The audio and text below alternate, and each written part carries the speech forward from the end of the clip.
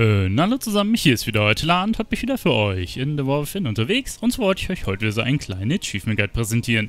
Heute geht es mal wieder um einen Erfolg, den wir hier in Tanaris beim Geburtstagsevent abschließen können.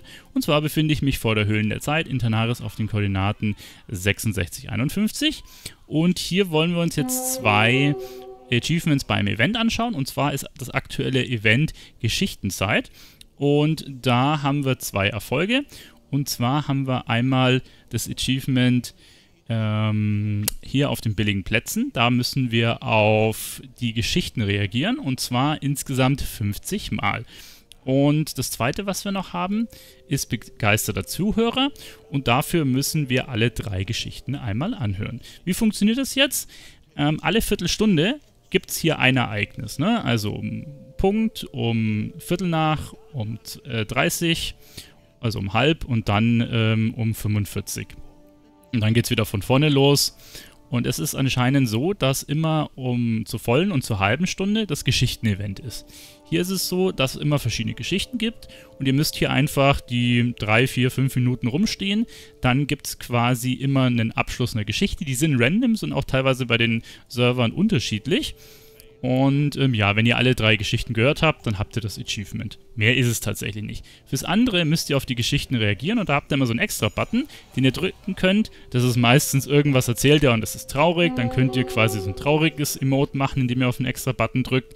Dann könnt ihr irgendwie auch jubeln oder irgendein Obst schmeißen. Das könnt ihr dann öfter klicken. Die sind immer nur ganz kurz da. Also ihr müsst ein bisschen aufpassen, was er so erzählt und wenn dann der extra Button aufploppt, dann schnell den extra Button klicken. Das müsst ihr 50 50 Mal machen. Während einer Geschichte kriegt ihr schon, ja, wenn ihr gut seid, 5 bis 10 kann man schon zusammenkriegen. Also ihr müsst es auf jeden Fall ein paar Mal abschließen. Und wie gesagt, sobald ihr dann alle drei verschiedenen Geschichten gehört habt, beziehungsweise hier mit 50 Mal den Extra-Button reagiert habt, habt ihr eure Achievements zusammen. Genau. Ähm, ihr seht auch übrigens immer, was als aktives Event ist hier oben, beziehungsweise was als nächstes kommt. Das wird auch angezeigt, beziehungsweise seht ihr es auch, wenn ihr hier über den Ballon rüberfahrt. Da seht ihr hier das Geschichtenzeit ne, vom Lernsucher Joe. Juti, das war es eigentlich soweit.